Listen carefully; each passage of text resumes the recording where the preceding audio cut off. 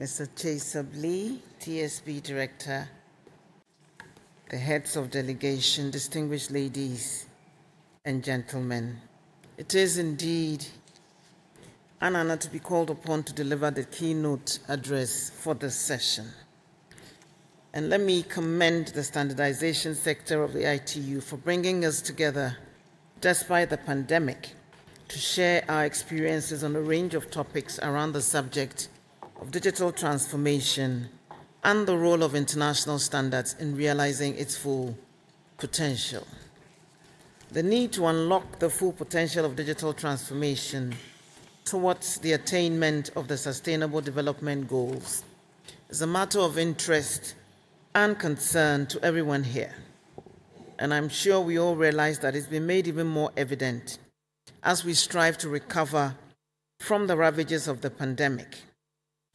Since we witnessed how pivotal digital tools have become in the new world that is unfolding before our eyes, and it is clear that without digital technology, none of the Sustainable Development Goals can be attained effectively. Differences in economic growth, sociocultural beliefs, and developmental philosophies have played a key role in the way countries and regions of the world have mapped out strategies to achieve their digital transformation. However, in an interconnected world, we have to develop all these initiatives in an interoperable manner, and that is why this meeting is so crucial. Uncoordinated or deliberately skewed development of any kind can have dire consequences for whole regions of the world, and by extension, humanity generally. And one example which comes to mind, and one that some in this room may be familiar with, is the famous story of the stubbornness of technical barriers, the railway gauge fiasco. For decades, inherited colonial standards and systems have prevented coordinated investment to drive railway interconnectivity across Africa, to the point where only 16% of total African trade is amongst African neighboring countries, compared to over 60% within the European Union and over 50% in Asia. The Trans African Highway would still not be on the drawing board, and logistical connectivity across the continent would not be the most expensive in the world had railway connectivity not been hampered by different standards across different countries, depending on who their colonial masters were, or what Manu Karuka calls, and I quote, railroad colonialism.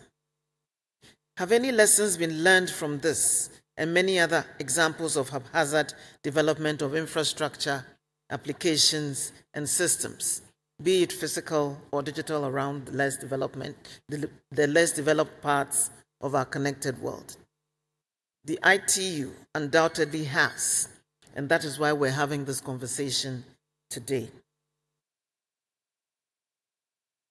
I'll touch briefly on some transformation that has been done digitally towards the SDGs, strides made, challenges, and lessons learned. For Ghana, we're intensifying our digital transformation drive with the ultimate goal of improving lives pursuant to the Sustainable Development Goals. And we can only do this by ensuring that the required frameworks are in place. The government through the Ministry of Communications and Digitalization, is playing a pivotal role in the development of a robust framework to support the digitalization of the economy in a manner that benefits every citizen. But we're mindful of the fact that we cannot go it alone and have to build systems that are capable of being linked to those, of develop, to those developed by our neighbors and so we're building fiber to our borders and are active international and, and continental initiatives, such as the Smart Africa Alliance. We're also determined to make the African Continental Free Trade Area work. Clear in our minds, the digital technology holds the key to uniting our fragmented and uncoordinated trade infrastructure and systems on the continent. I keep referring to the pandemic, and for good reason too. It helped focus our minds and created the opportunity to rapidly introduce digital responses to critical issues. One such initiative was the Trusted Travel Initiative, powered by the PanaBios system, which was developed by the Africa CDC to digitally certify COVID tests and vaccines to enable us travel and safely reopen our economies. We didn't wait for an imported solution, but developed our own for the entire continent, but which was also designed to be compatible and interoperable with analogous systems developed for other parts of the world. It's notoriously difficult to roll out continent wide systems, but this was done in record time. And I'll come back to this later in my presentation. But we have a few more digital initiatives up our sleeves. Africa and other less developed parts of the world cannot be treated as bystanders. Every effort has to be made to bridge the standardization gaps between the rich and poor parts of our world. But it must be done in a manner that does not stifle creativity or innovation and provides access to appropriate technologies and funding to ensure the holistic development of our world. In this fourth industrial revolution, marked by developments in the areas of artificial intelligence, smart cities and IoT, cloud computing, digital financial services, digital identities, machine learning, and big data, to mention a few. A lot of collaboration is required of digital product manufacturers, technology solutions providers, telecommunications operators, standards development organizations, and governments to guarantee maximum protection for consumers as we encourage the use and adoption of digital technologies. It is imperative that all standards development organizations work together in this area of digital transformation to ensure that the railroad colonialism of the past does not happen again. And I'm glad that it is already happening, as the first session made abundantly clear that collaboration between the IEC, ISO, and ITU is ongoing. We in Africa, and certainly in Ghana, are concerned about the level of inputs those of us in the global south make in the standards that enable the emergence of massive global digital networks as a result of interoperability. Interoperability is at the core an expansionist concept, but making all things talk to all things. By making all things talk to all things, interoperability standards lead to the flourishing of the big and the powerful. This can be great for consumers due to the price lowering effects of economies of scale, but it can also snuff out local creativity and peculiar innovations that are more suitable for our level of development. We have seen local regulators in Africa have running battles with certain forms of social media and cryptocurrency tools and systems because the underlying technical standards that they write on to go global do not provide any serious means for local risk management. In some parts of the world, the false neutrality of standards is leading to pushback against global digital interoperability with some serious results, such as the balkanization of the internet and attempts to ring fence global digital platforms with some kind of local shields. This is clear evidence of standards vacuums triggering ad hoc reactions. And so, as we rush headlong, headlong into the AI era, such confusion and breakages in the global digital interoperability systems will intensify. Standards around algorithmic transparency and non discrimination will, if the current course be maintained, emerge with very limited input from the global south, leading to negative fallout for many of our societies as deep fakes and other AI enabled systems hosted far away from us run amok. The transformation of global capitalism is, however, not driven solely by the globalization of systems and networks powered by standards enabled interoperability.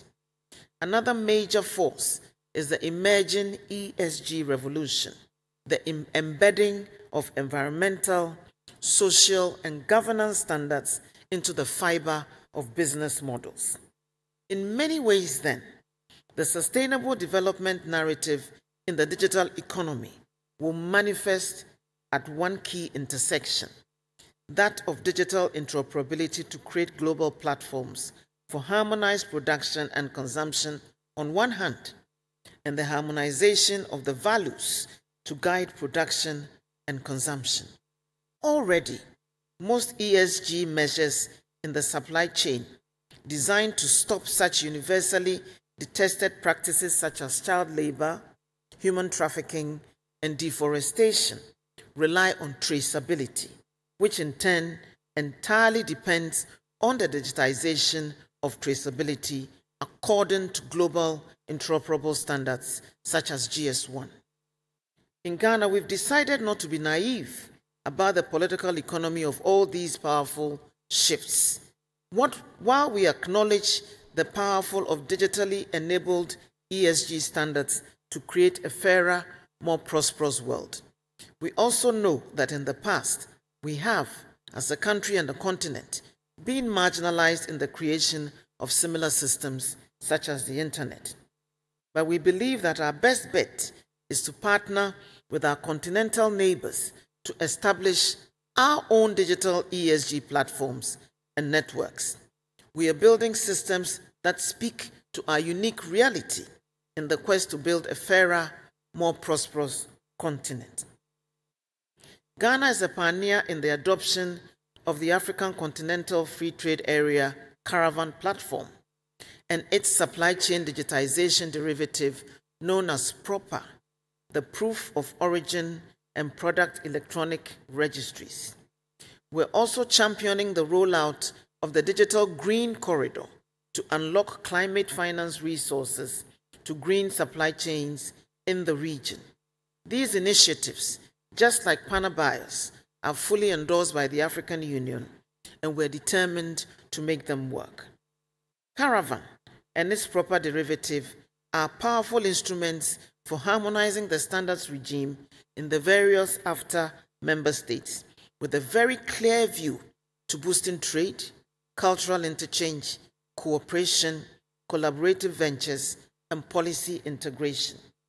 Through the Caravan platform, Ghana seeks to foster regional alliances in the creation of value chains where production activities can observe the highest ESG standards within frameworks that respond to our unique challenges.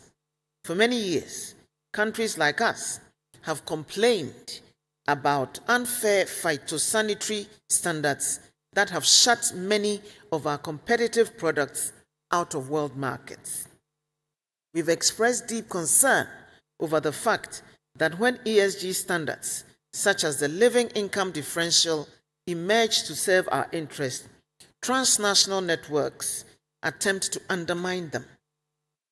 We've complained about the role that Western and Eastern intermediaries play in the siphoning away of vast wealth from our continent through clever manipulation of standards.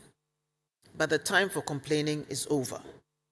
We've now taken it upon ourselves as a continent to develop our own mega platforms to track the enforcement of standards across multiple interconnecting supply chains in our continent.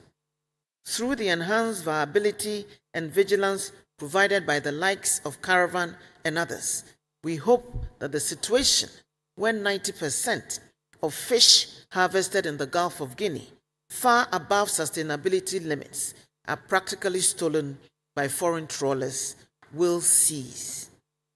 Whether it is maritime marine resources off the coast of Ghana or rare earth metal concessions in the Congo, standards are critical to ensuring their sustainable, fair, and equitable use to benefit the population.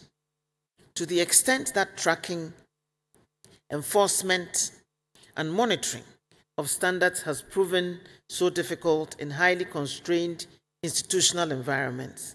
Digitalization and digital transformation is vital to ensuring that new capacity is made available in a decentralized manner across Africa to turn things around.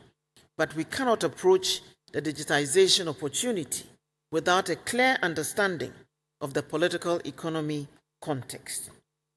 Our deployment of digital technology in tracking, enforcing, and monitoring ESG standards in vital supply chains like marine, agricultural, mining, and telecommunications shall thus be guided by a clear eyed pragmatism and a deep sense of cultural awareness.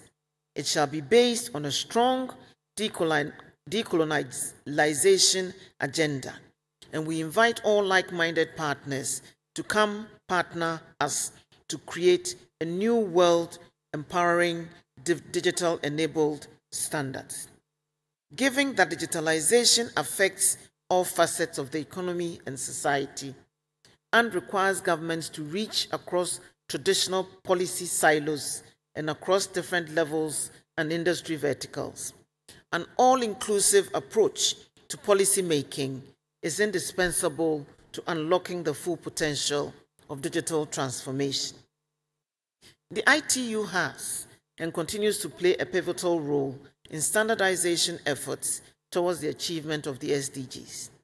For example, within the immediate past study period, quite a good number of recommendations and related technical outputs have been produced and published by the ITU to address a host of emerging issues on cybersecurity, digital finance, 5G, machine learning, artificial intelligence, IoT, to mention a few. Emerging work in the area of digital COVID 19 certificates, as was agreed at the last TSAG meeting, is revolutionary, and we look forward to its output and learnings. In return, government would also continue to make available the necessary wherewithal to support the standardization work of the ITU and its allied bodies. In conclusion, as technology continues to advance at a faster pace than policy and regulation, and given the 2030 accomplishment timeline for the SDGs is almost upon us, it is clear that the standards development community does not have the luxury of time. The ITU, IEC, ISO may be doing their best. However, the timely production of standards to meet evolving needs of policymakers, regulators, and the ICT markets is one area that has been a bit elusive. It is therefore suggested that a standards development roadmap specifically for the SDGs be outlined by your consortium of SDOs and timelines clearly set in response to anticipated growth of policy and technology. May I kindly request, as I bring my address to a close, that we accord the moderator and his team of experienced panelists the rapt attention deserving of an intense and interactive program of this nature. And I wish us all a productive session. Thank you.